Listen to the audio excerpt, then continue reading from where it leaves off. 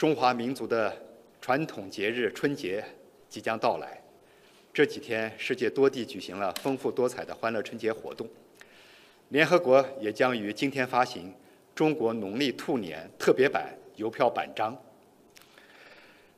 瑞兔迎春至，神州报喜来。在此，我们给广大中外记者朋友和所有关心、关注。支持中国外交的朋友们拜年，祝大家新春快乐，身体健康，阖家幸福，兔年大吉。我们兔年再会。